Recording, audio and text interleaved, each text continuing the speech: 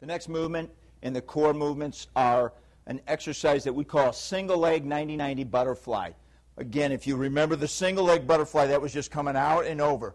Now we're going to make it a little more difficult. We're going to come out, single leg butterfly. Again, the back is in that flat back position, belly button to spine, and then we're going to extend the leg out. It's going to put more tension and, and challenge this, the middle part of your body, that core region, and we want to keep that flat and down. You're going to feel your body shaking a little bit.